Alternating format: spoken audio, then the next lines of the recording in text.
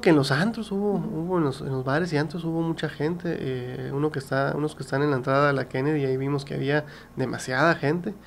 eh, y eso pues significa que la gente salió a, a, consumir, a gastar dinero, que eso es beneficioso para el, para el comercio en general de, de Nogales. ¿no? Yo vi que ahí hubo más, más movimiento este año en los restaurantes y en, y en, y la calle, eh, a diferencia de que los ambulantes se estén quejando, a lo mejor porque no, es, no había no era día de pago aún de, de quincena o de, o, o, de raya como normalmente las maquiladoras pagan los viernes, pues a lo mejor eso influye mucho.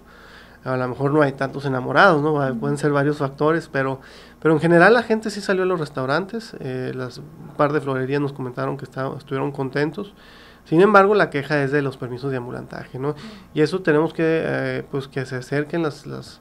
los, los negocios que son afectados, sobre todo los que son afectados con los permisos que se dan de ambulantaje porque pues como cámara tenemos que defenderlos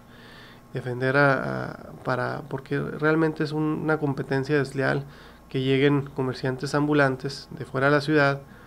que traigan nomás para este día y le afecten a los que tienen todo el año pagando renta que, que se dedican a lo que realmente como lo que es las florerías no o los ven, los que venden peluches y todo lo demás